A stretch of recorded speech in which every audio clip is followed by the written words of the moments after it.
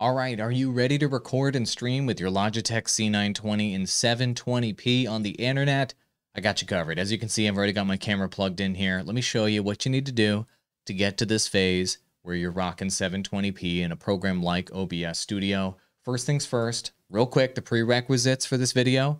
You should have already bought the webcam, right? Link in the description below to the Logitech C920, an affiliate link of mine. You should have searched for Logitech G Hub on Google. You should have downloaded and installed the G Hub software, and you should have manually updated your drivers. If none of that made sense to you, that's okay. There's a link in the description below to buy the camera and to go through all of the steps that I just detailed.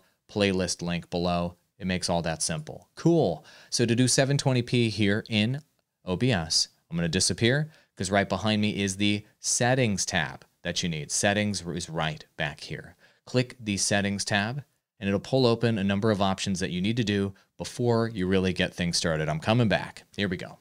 So your first stop is the video tab right here. Go to video.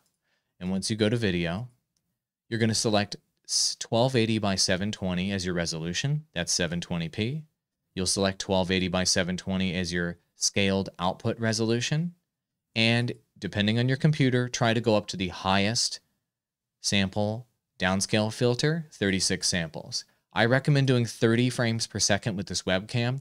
If you're doing gameplay or whatever, you can go up to 60, but I recommend doing 30 for those of you that are just looking to do uh, tutorial recordings and things that do not have high motion. Go ahead and hit apply, but do not yet hit OK. Your next stop is going to be the audio tab. I tell people to do something here that is uncommon, but I think is good uh, disable all of your audio devices and select the sample rate that is the same sample rate as your microphone. You want to disable all of these so your microphone from your camera does not pop up twice and confuse you, okay? Once you do that, hit apply, but do not yet hit OK. The next tab you're going to go to is the output tab. This is where all the juicy settings are for 720p. Now this will default on simple. Don't do simple. Do advanced. So do the drop down menu and choose advanced. Encoder options include whatever is available on your computer. So if you have an NVIDIA graphics card, select an NVIDIA NVENC encoder. If you don't, select whatever the 264 variety is, H264, X264, whatever, okay? For this tutorial, I'm gonna do the NVIDIA one because it has more settings options than the others. Do not enforce streaming encoder settings. Don't do that, uncheck this do CBR for your rate control. For your bit rate, I recommend going up to 4,000 kbps, up to 4,000. No need to go above that, in my opinion, uh, if you're doing 30 frames per second streams. Your keyframe interval, keep it at zero. Now, the rest of these settings here are going to be for NVIDIA card users, but you'll do max quality for your preset, high for your profile. Do not use look ahead but do use psycho-visual tuning, okay? Hit apply, but do not yet hit okay. Go to the recording tab. You saw the recording tab up here. All your recording settings are located right up here, my friends. You're going to go ahead and select the folder by clicking browse right there that you want all your recordings to go into. Click that browse button, select the folder manually, use your storage drive, preferably for that, okay? For your recording format, I choose MP4 because editors can use it in all programs. Other people will fight me. Fight me, bro. But I like MP4. All right.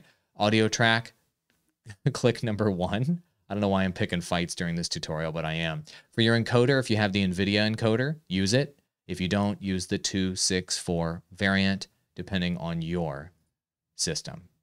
Then for the rest of the settings, you're going to do rate control CBR. That's nice, consistent bit rate. And then for your recording bitrate, 5,000 is generally recommended. If you want to go up to 10,000, you can, uh, but generally you're not going to get too much more out of it beyond 10,000. So 5,000 to 10,000 for your bitrate. And for your keyframe interval, these are for NVIDIA settings after this, by the way. Zero, your preset for NVIDIA people, max quality, profile, high. Do not use look ahead. Do use psycho visual tuning, okay? Cool. That's the recording tab. Hit apply, but do not yet hit OK. For your audio tab. Yeah, did you know there's an audio tab up here? Everybody skips this freaking audio tab. all of your audio, bump it up to 320, baby. So it defaults to like 128, I think. Make it 320. This will double your audio quality or more. 320, 320, 320. Why are you gonna why are you gonna cheap out on the audio quality? Bump it up to maximum. That's what you're gonna do. 320 on all of your audio. Hit apply, and then now you can hit OK. All right, so now your audio quality was just doubled because you watched my tutorial. You're welcome. So if you want to add the camera, I'm going to get rid of mine just so you can watch me do it here from scratch. If you want to add the camera, click the plus button down here under sources. Follow along with me, my friends. Plus button. Video capture device is what you're going to use today. Video capture device is your source that you're adding. Uh, name it whatever you want to call it. Hit OK you're going to get this menu. And then in the drop down menu here, select your HD Pro webcam C920. That's the device we're setting up today. As you can see, it's going to give you a square image by default here. You don't want square, man. You want that 1080p juicy widescreen image. In order to get that, you need to go down here to the resolution FPS type, do custom. And then you're going to manually select a resolution the resolution you want here is 1920 by 1080. That is the highest resolution this camera offers. Why would I do that? I thought this was a 720p video because I want every pixel. I want every pixel. Go to first per, go to FPS and go to 30 FPS and then hit OK. All right. So as you can see, my 1080p image is too big. That's okay. We can downscale it, my friends, by right clicking, do transform, and do fit to screen. It'll take that 1080p signal, squish it down to 720p, and boom, you've got maximum quality video on the screen from your webcam. And of course, you can grab the sides of it in any of the corners, like right up there, and resize it, put it in the corner, do your demo in the background, whatever you need to do with your webcam, move that bad boy around. And then whenever you want to lock it in place, click the lock button right over here by sources and lock it into place. I promised you this was a streaming and recording tutorial, so I'll disappear really quick. Start streaming button is here. Start recording button is here. But you might be asking, Awall, you didn't teach me how to how to connect to the streaming platforms. What kind of tutorial is this? All right, I'll show you real quick. Hold on. Let's go back into the settings down here. I'm not going to go over every single streaming platform. I'm coming back. I'm not going over every streaming platform, but if you want to set up your streaming platform, click the Stream tab over here. Click it. Choose your platform, whatever it may be. Okay. I recommend uh, for new streamers, for simplicity, choose your platform and then do the account connection option. If you're just getting started, it's much easier. Click it and it'll have you log into that platform, whether it's Twitch, YouTube, or whatever. Okay. And then once you've locked once you've locked in your streaming platform, hit apply and then hit OK.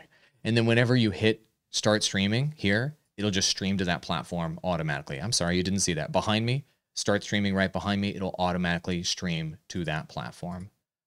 Once again, links in the description below to buy the C920 and for the playlist on other tutorials related to this webcam. Thanks for watching. Enjoy your new webcam.